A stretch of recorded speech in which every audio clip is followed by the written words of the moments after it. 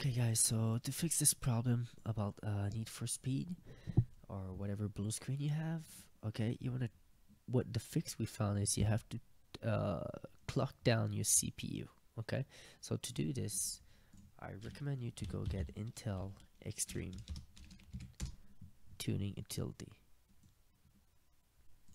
Okay, download center.intel.com. This is the legit website you'll find the Intel logo over here. That's the real one. So you go over here. I will put this link in the video. So you download this, you accept, you do everything you have to do. Okay, and uh, this is already. You're gonna have to restart your computer once you install this. Okay. So once you've done that, once you restart your computer, we're back over here in Windows and you're gonna have this uh, program over here Intel Extreme or just search it in the taskbar Intel Extreme. Then you're over here and this program is really simple. Okay so my uh, settings right now is at 48 well just to show you around first you have to be in basic tuning all right? You don't go in advanced. You don't go in benchmarking. You don't go anywhere okay? You just stay over here in basic tuning. You don't even need to touch that run benchmark. Don't touch anything all right just go over here step 2 overclock system and drop it down from two values the both. One two all right apply and that's it okay? So you can close that down. Then you can start back uh, need for speed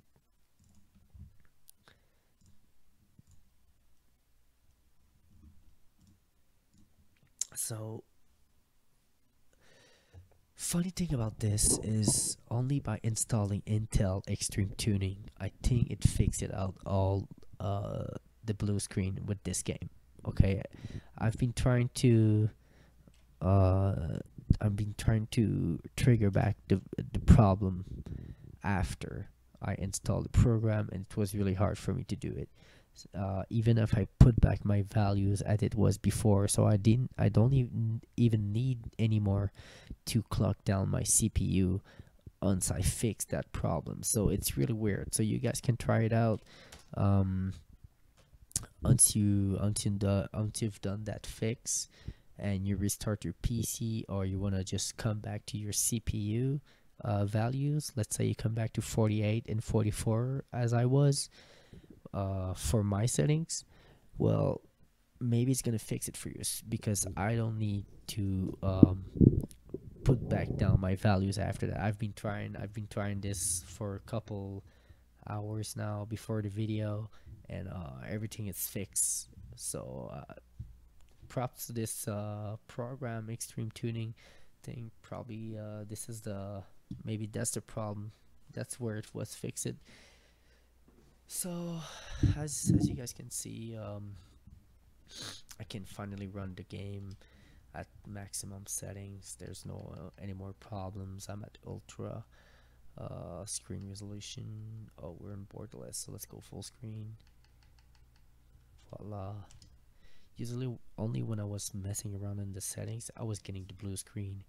But now I'm confident that uh, it's not gonna happen anymore so let's just go uh, by night just to show you guys that everything is working. And um, yes before I made this video I obviously watch all over the forums and the problems is frequently happening with the 2080 graphic cards 2080 Ti 2080 uh, pretty much everyone who has this graphic cards will have this problem. It's I don't know it's really weird maybe it's because uh I don't know why it, it have some uh I don't know why everybody with the graphic the same graphic cards has this problem when the fix was about to clocking down the CPU so it's it's a weird problem you know. I'm happy to fix it though. Uh, and I'm happy I helped you if that fixed your problem also. Don't forget uh, if you like this video just put a thumbs up and you can subscribe for more. If you have any question put them in the comments below. And uh yeah. Oops i'm i'm copsid right now. So i hope you guys uh fixed your problem just like i did. And as i told you uh after i fixed that problem once i didn't even need to um uh clock down the values anymore. I, I could run my uh OEM value settings at 48 let's say my uh over my uh, original overclock settings I had and I had no more problems. So big props to uh, Intel Extreme Tuning once again and uh, I hope you guys have a have a good gaming. See you next time